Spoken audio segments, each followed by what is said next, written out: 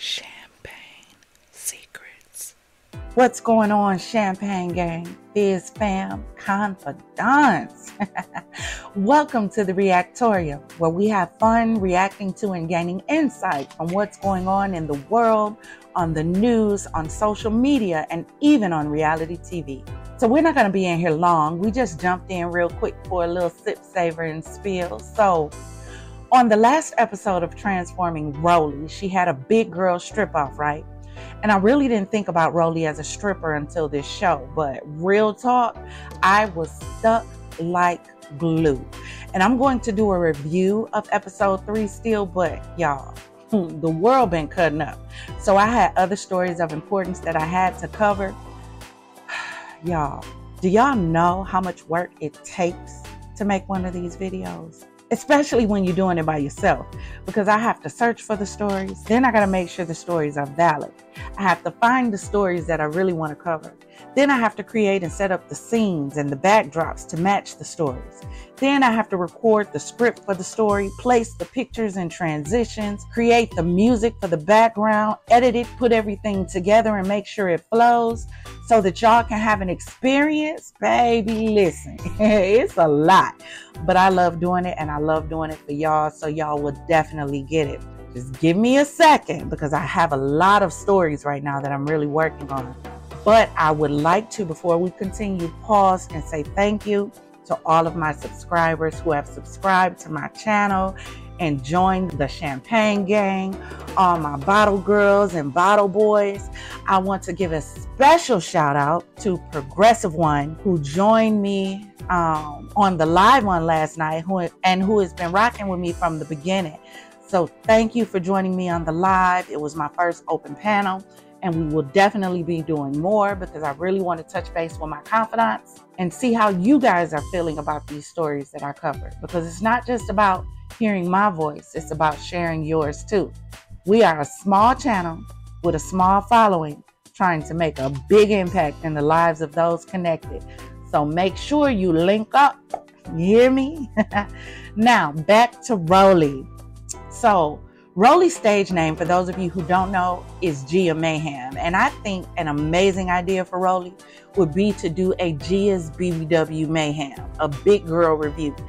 I would be here for it. I promise you I would. So, if you haven't watched the show Transforming Rollie, Rollie decided to docu-series her bouts with Beatrice Kiddo and her Hattori Hanzo swords to get BBLs, plural, because she had several to obtain the results you now see stomach lipo, chin lipo, and back lipo surgeries. Baby, listen, it was a lot. Do y'all hear me? I feel like I should have called 911 to report asphalt because you know we can't say certain words with a deadly weapon because ain't no way. C- couldn't be me. No, y'all listen. If I can't, I dream of Jeannie it away, baby. I guess it will be here to stay because ain't no way. Listen, laser lipo me. I'll take laser for a thousand Alex because I don't like regular needles. So there's no way I was undergoing what she went through.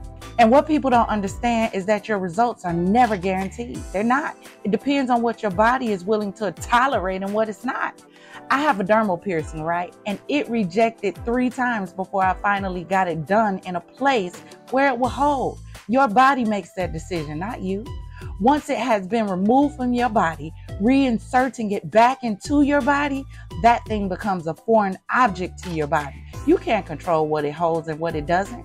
So you haven't heard of the amount of girls who got BBLs and their bodies rejected the fat and it all came back out, huh?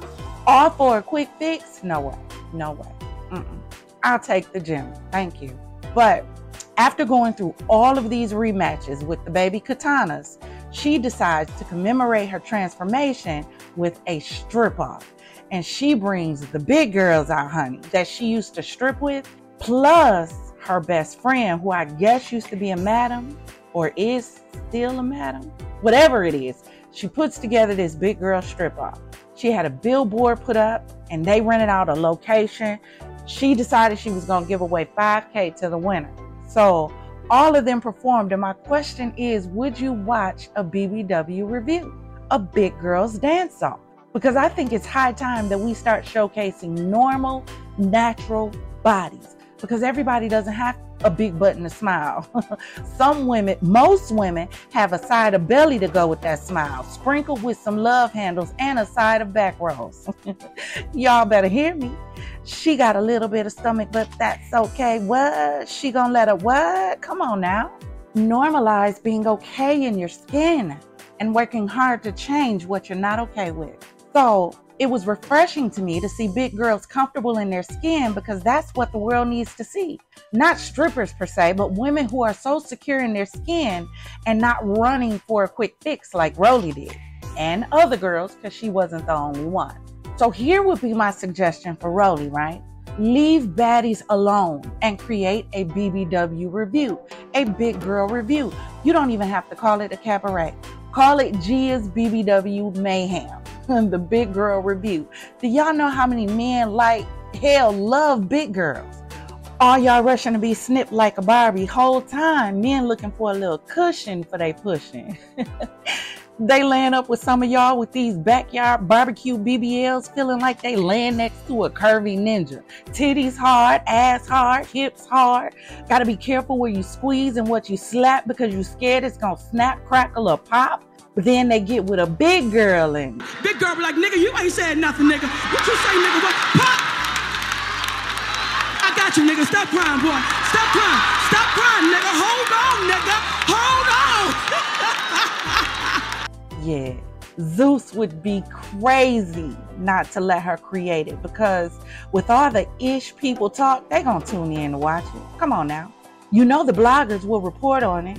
You know, the big girls will watch it because people want to find a reason to be confident in how they look right now. Hell, seeing them made me feel a little bit better about the little cellulite I got in my thighs because being confident in your skin is not what's mass broadcast by the media, by the music industry.